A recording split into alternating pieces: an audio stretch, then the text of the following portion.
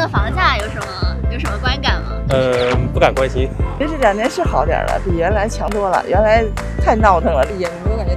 特别高，其实还好。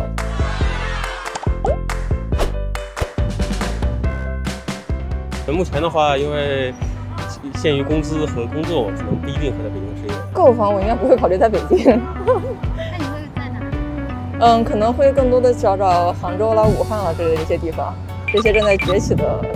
新一线或者说是二线城市。首先你在北京置业，首先得有户口吧，这户口其实也是比较重要的一方面。另一方面的话，我觉得一方面是首付，另一方面可能对于行业来说很难说去一直持续着干一个行业，比如说维持高薪到二十年、三十年，所以我觉得在这方面有点担心。你们对于这个住房，就是有没有什么考虑啊，或者是希望就是政府能够做点什么之类的？肯定是期待它去更大、更多去放宽。当然，但是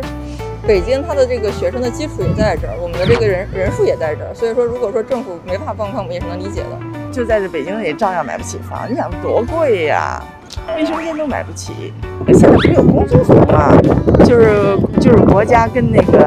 呃国家的那个盖的房租给你，我有这房，我政这个政策特别好，有钱没钱都能有房住。保交住房好像有听说过，但是好像就我们那边的话是通过公司那边开始申请，但是这也需要排队，需要积分，要怎么怎么样的。我有同事现在也在住那边的房子，就是如果有机会的话，我觉得。可以申请一下，我觉得还挺不错的。今天完成了一次采访啊，街头的采访，然后是关于什么话题的呢？嗯，主要是关于住房的，就是课堂中总理提出了，就是说住房不炒，然后也提出了要持续建设这个保障性住房。然后今天在街访的时候就问了一下，就比如说街上的一些路人啊，他们对于这个议题有什么样的一些看法？嗯，那经过这样的采访，你的感受如何呢？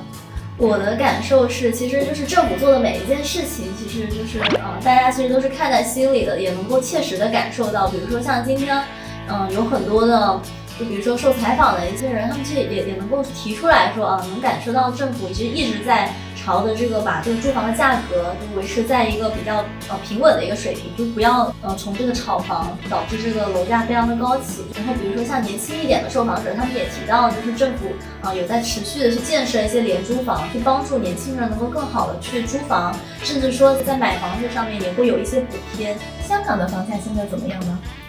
嗯，香港的房价应该蛮多年其实都是维持在世界上就是数一数二这样子的一样楼价是真的是非常非常的高。就因为我自己的就大学是在香港读的，然后当时的同学之间也是流传一句话，就是因为我们的宿舍是沿海的，就可能是你就是那句标语是你人生唯一一次住海景房的机会，因为就是在香港海景房真的是天文数字，然后就算是普通的住房的话，其实年轻人想在香港置业也是非常非常难。嗯，所以你自己还打算回到香港买房吗？之后如果是我自己独立买房，可能也首选不是香港，可能是大湾区，因为一来就是大湾区确实给香港青年提供了很多的一些嗯优惠政策，也是鼓励香港青年在大湾区能够呃置业、买房子、工作，然后组建家庭什么的，所以我觉得可能大湾区会是我的首选，比起香港。香港对于年轻人购房有一些积极的优惠措施吗？嗯，香港的话，它其实也是有的。就我这个年龄层了能了解到的，最主要是两个方面吧。一个就是，首先在租房上面，其实公就是政府其实是有提供公屋，还有新型公屋，其实是给一些年轻人，如果他们可能短期内没有办法用自己的工资去买房的话，其实是可以先申请公屋的。然后第二个的话，就是居者有其屋计划，就是所谓的居屋，那也是政府会以一个相对比较实惠的一个价格去将这个房屋，呃，就是卖给卖。给一些符合资格的一些申请者，这样子，这两个是我比较了解到的，就是政府去帮助，嗯，